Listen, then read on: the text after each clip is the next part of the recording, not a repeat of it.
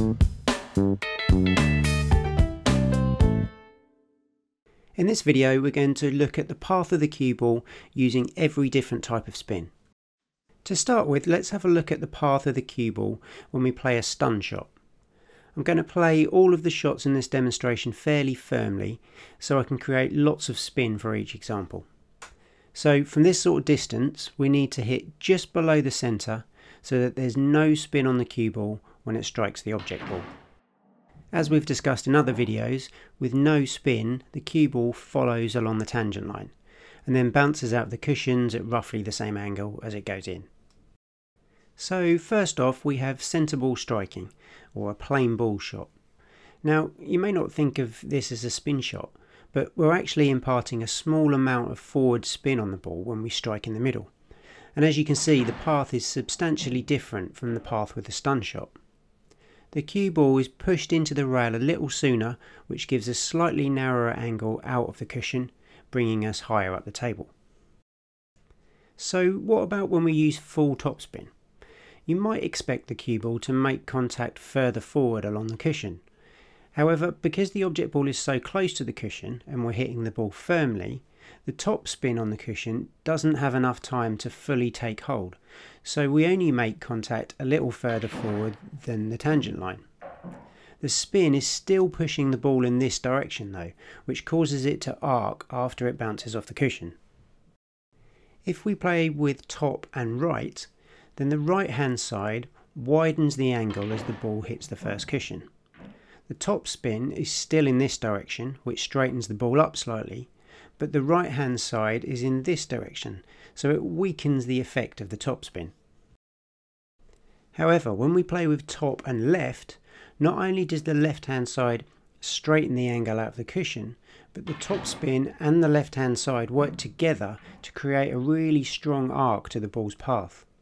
It also shortens the distance that the ball travels as they're working against the direction of travel after the second cushion, which slows the ball to a stop much quicker. So what about when we hit at the bottom of the ball, so screw back?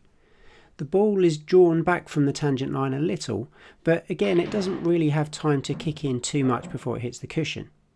The slightly wider angle and the fact that the spin is pulling in this direction help to pull the ball into the side rail further down the table than it does with the stun shot. If we strike the cue ball to the bottom right, it doesn't make much difference to the initial contact on the first cushion because it's already quite a wide angle. However, there's still a little side left on the next cushion to widen that angle slightly. It's worth noticing here that we end up in a very similar position as we did when we used just topspin, but we got there in a very different way, something that can be quite useful if we know that one particular route is blocked. When we strike the cue ball bottom left, then the left hand side checks the angle out of the first cushion and it brings it out at a much straighter angle. The backspin is then in a similar direction, which helps the ball to travel further down the table. Here we have an almost identical position as when we were using top right, which considering we're hitting on the exact opposite side of the ball is quite interesting.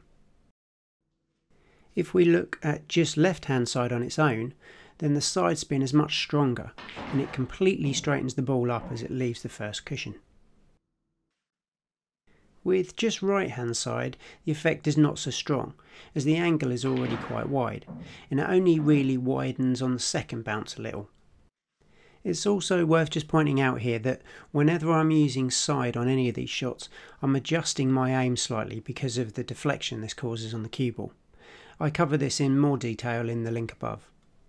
Now, as we've just seen, when the object ball is close to the cushion, any forward or backward spin doesn't really have time to affect the cue ball before it reaches the cushion. If we move this whole shot away from the cushion, but keep the same angle between the white and the red, then the outcome of each type of spin will be quite different. This is because we can affect the ball's path before it reaches the cushion. So again, I'll play this first shot just with stun so we can see the path along the tangent line with no spin. Just as before, playing the shot plain ball pushes the cue ball forward a little from the tangent line and gives us a narrower angle out of the first cushion. This time, when we play with full topspin, the spin has time to change the path of the ball before it hits the cushion. As we've looked at in other videos, the white ball is slightly smaller than the object ball.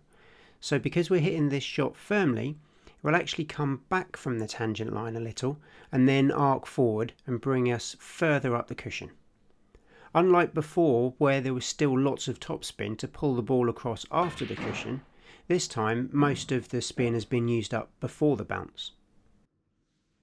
When we strike the ball to the top right, this makes very little difference to the path before the bounce. We have a little less topspin than before, so we make contact between the tangent line and full topspin. The right hand side then widens the angle a bit further, but it doesn't have a huge effect as the angle is already fairly wide. If we strike to the top left of the ball, then again there's very little difference to the path before reaching the cushion. However, this time, because the side spin is working against the angle, it checks the cue ball and straightens it up as it leaves the cushion. With full screw back, we can alter the path so much that the cue ball doesn't even reach the bottom cushion, and it's drawn back across the table to the side cushion. When we strike the cue ball to the bottom right, again the side doesn't make much difference before we reach the cushion. However, because we're now approaching the side cushion fairly straight, the side has quite a pronounced effect, widening the angle up the table. When we strike to the bottom left, again we come into the cushion fairly straight, but this time the side spin actually brings us back down the table. With just left hand side, we get a path into the bottom cushion similar to that of the plain ball shot, just ahead of the tangent line. The left hand side then narrows the angle a bit and brings us higher up the table. Finally, with just right hand side, we again come into the same point on the cushion, but then the right hand side widens out the angle. As we've seen with both of these shots, we have a huge range of options using the different spins. Not only with the final position, but how we get there. These demonstrations just show the extremes as well, so obviously we have countless options anywhere in between. Hopefully these visualizations have given you an understanding of how the cue ball behaves and will help you to work out the path of the cue ball with any type of spin.